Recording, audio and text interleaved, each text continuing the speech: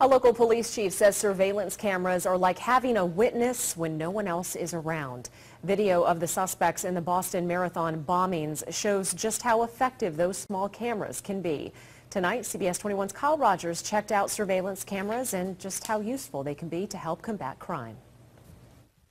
As soon as you pull into Shearer Securities, you're always being watched. It's business here. Surveillance video for home or work. It, it's easy to have like alarms and locks, but if they still break in, you don't have the evidence. And not every camera is the same. Some move, some connect to the internet.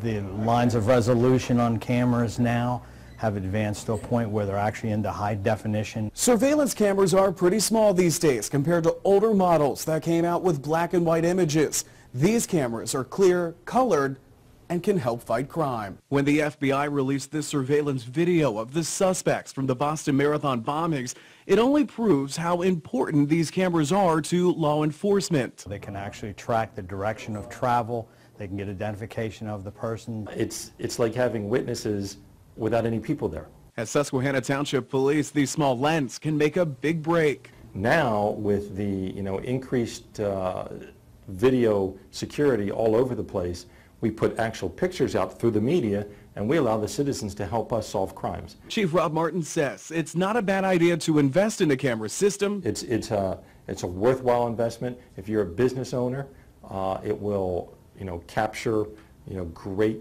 uh, pictures and allow us to fight crime more efficiently. Kyle Rogers, CBS 21 News.